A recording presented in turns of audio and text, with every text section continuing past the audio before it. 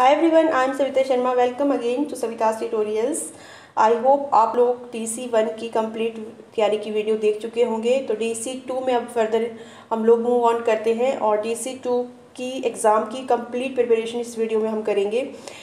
सभी questions important questions लिए हैं इसमें मैंने और साथ में उनके आंसर्स भी चेक करेंगे, ठीक है? सभी क्वेश्चंस देखेंगे और सिर्फ़ वीडियो स्टार्ट करने से पहले रिक्वेस्ट करूँगी कि वीडियो को प्लीज़ जितना भी वीडियो होगा प्लीज़ पूरा कंप्लीट देखें।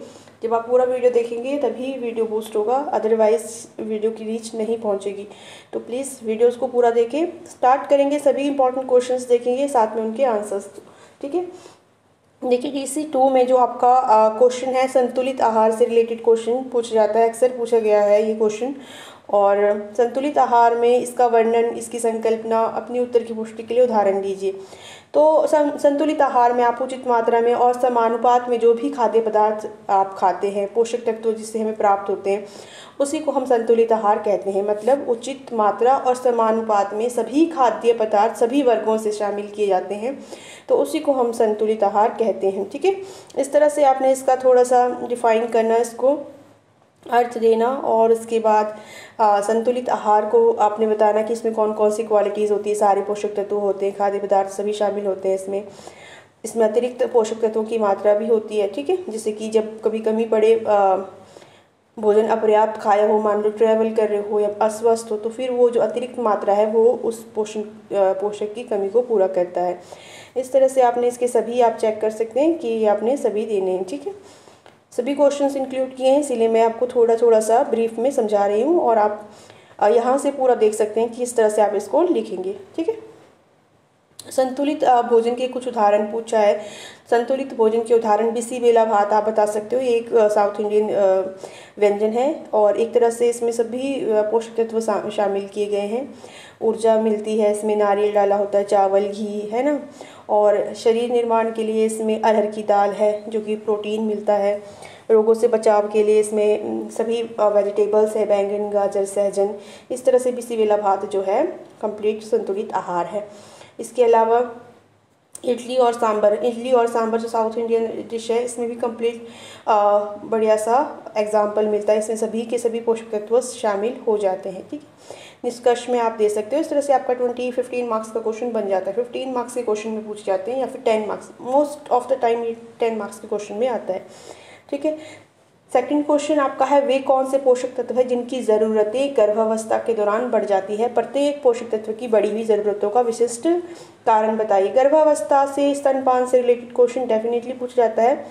सो so, क्वेश्चन को आपको किसी भी तरह से घुमाया गया हो अगर आपने क्वेश्चन को ढंग से टॉपिक को समझा है तो आप लिख सकते हैं ठीक है? आपने ऐसे नहीं छोड़ना है।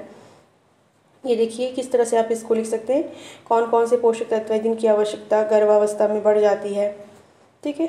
एक तो प्रोटीन ऊर्जा इनकी सभी की आवश्यकता बढ़ जाती है, अपने ध्यान से इनको देखना है। देखो, प्रोटीन है, इसका कारण क्या है? प्रोटीन की आवश्यकता बढ़ने का कारण है माता के शरीर में, व शिशु के शरीर में उत्कों का तीव्र गति से निर्माण हो रहा होता है।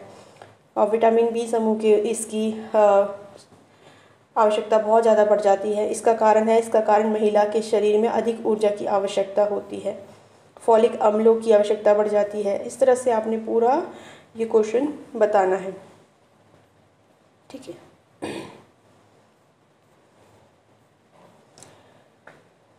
ये नेक्स्ट क्वेश्चन आपका आता है कि गर्भावस्था, कई बार ये क्वेश्चन भी टेन मार्क्स में पूछा था गर्भावस्था के दौरान होने वाली कौन समस्याएँ कौन कौन सी आती है? ठीक है, कौन समस्याएँ कौन कौन सी आती है? कौन समस्याएँ? सामान्य जैसे समस्याएँ जो होती है, आम समस्याएँ, ठीक है?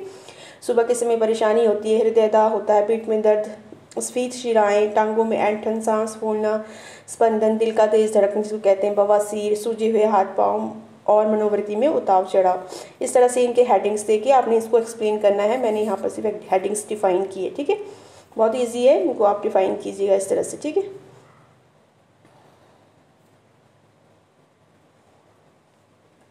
नेक्स्ट क्वेश्चन आएगा आपका, गर्भावस्था के दौरान प्रमुख विसंगतियाँ कौन कौन सी है? विसंगतियाँ मतलब जो खास बीमारियाँ होती है, ठीक है? अति रक्तचाप तो होता है एनीमिया की प्रॉब्लम आ सकती है खून की कमी जिसको कहते हैं, ठीक है, इस तरह से आपने इनको बताना है। कुपोषण शब्द से क्या स्पष्ट का स्पष्ट कीजिए, इसके दोनों रूपों का वर्णन कीजिए, प्रत्येक रूप का एक एक उदाहरण भी दें। कुपोषण का पहले आपने बताना है कि अल्प पोषण अति पोषण दोनों ही कुपोषण में आता है, ठीक है। अल्प पोषण का तात्पर्य आपने एक्सप्लेन करना, एक या एक से अधिक पोषक तत्वों की कमी हो गई तो अल्प पोषण हो गया। अति पोषण में एक या एक से अधिक पोषक तत्वों की अतिरिक्ता अल्प पोषण कहलाती है, ठीक है? अति पोषण कहलाती है। इस तरह से आपने ये क्वेश्चन को पूरा लिखना है अति पोषण और अल्प पोषण को। देखिए क्वेश्चन को अच्छे से आप लोग समझ जाएँगे कौन सा कौन सा क्वेश्चन है। साथ में इसको आप डिफाइन करने के अपने तरीके भी निकाल सकते हैं बट इसमें मैंने आपको पूरा बताया एग्जैक्ट आंसर निकाल के दिखाए हैं इसमें। और इस तरह से आपने इनको लिखना है, ठीक है? ये तीसरा क्वेश्चन आ गया ये भी क्वेश्चन काफ़ी बारी पूछ जाता है। तीन वर्ष के बच्चे और छः वर्ष के बच्चे के लिए क्रमशः दोपहर के आहार की संतुलित व्यंजन और दोपहर पूर्व संतुलित सुझाइए मतलब संतुलित आहार सुझाइए। सुबह दोपहर वाला भी बताना है, दोपहर से पहले वाला भी बताना है। व्यंजन प्रत्येक व्यंजन की प्रयुक्त सामग्रियाँ और सामग्री में प्रयुक्त होने वाले पोषक तत्व भी बताइए, ठीक है? इस तरह से आपने इस क्वेश्चन को करना है, देखिए।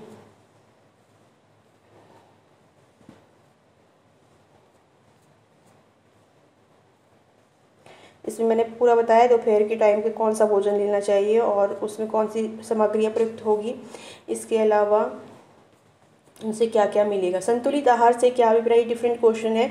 इसमें आ, उसके मतलब संतुलित आहार की योजना को जो प्रभावित करने वाले कारक है वो बताने। प्रमुख कारक कौन कौन से हैं? इसमें बहुत सारे कारक है आपकी आवृत्ति और प्रदृति आहार आवृत्ति किस तरह की है? ठीक है? जैसे पंजाब में अलग सा भोजन चलेगा, साउथ में अलग सा। आर्थिक आधार उसका चलेगा। अमीर अलग से उनका थोड़ा सा अलग सा होगा रिच पीपल्स का, ठीक है? तो इस तरह से इसमें देना है। मध्यम वर्गीयों का अलग सा होगा। इस तरह से आपने कारक बताने हैं। निम्नलिखित पोषक संबंधी प्रत्येक विसंगति के लक्षण और प्रत्येक विसंगति के रोकथाम के तरीकों का। बीमारियों से रिलेटेड क्वेश्चन डेफिनेटली आएगा। बीमारियों से आपने ज़रूर पढ़ के रखना है।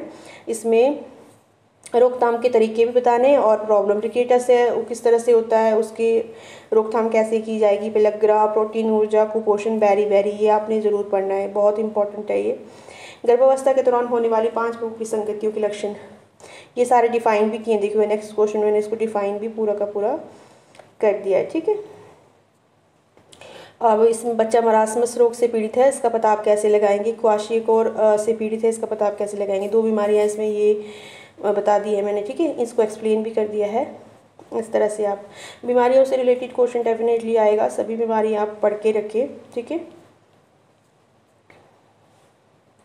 अब ये गर्भावस्था के दौरान पूर्व देखभाल की आवश्यकता या फिर उसकी ज़रूरत की चर्चा कीजिए। मतलब जब गर्भावस्था होती है तो पूर्व देखभाल क्या क्या की जा सकती है? सुरक्षित मातृत्व सुनिश्चित करना, इसके लिए टीकाकरण किया जाता है गर्भावस्था के दौरान। उत्पन्न होने वाले लक्षण देखने, हैं ना?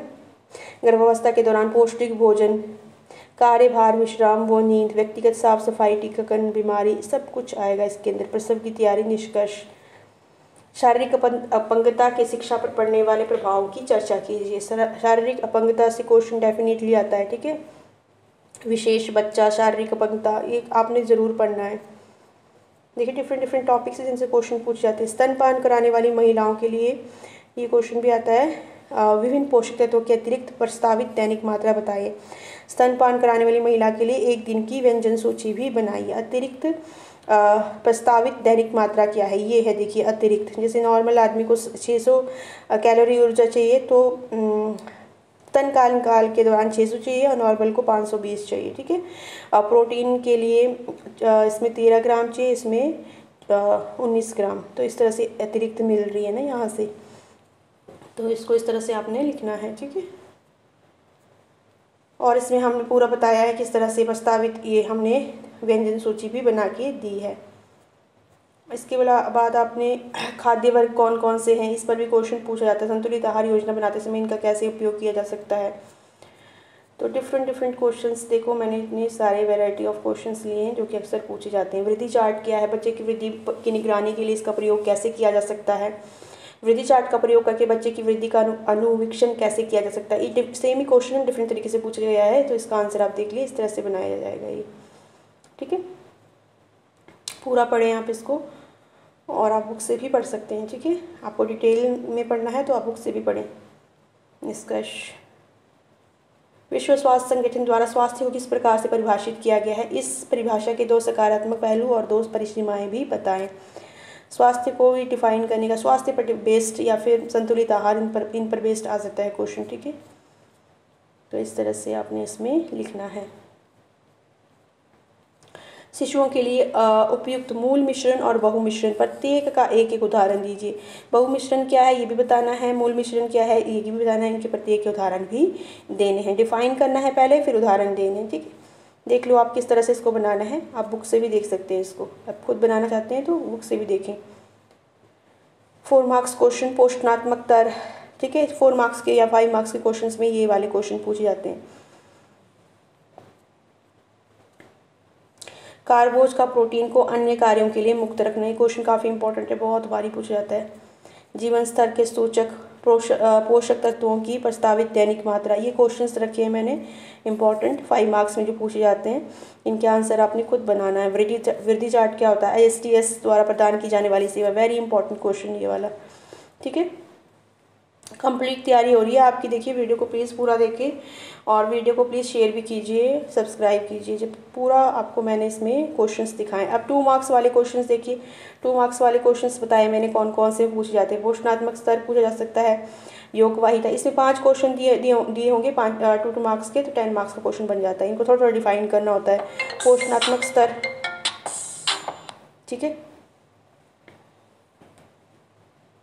इस तरह से शिशु मृत्यु दर, आपतन, संतुलित आहार, उपलब्ध कार्बोज, टीकाकरण, आयु विशिष्ट मृत्यु दर, क्रैटिनता, मातृत्व मृत्यु दर रुग्णता सूचक जीवन स्तर। इस तरह के क्वेश्चन देखिए।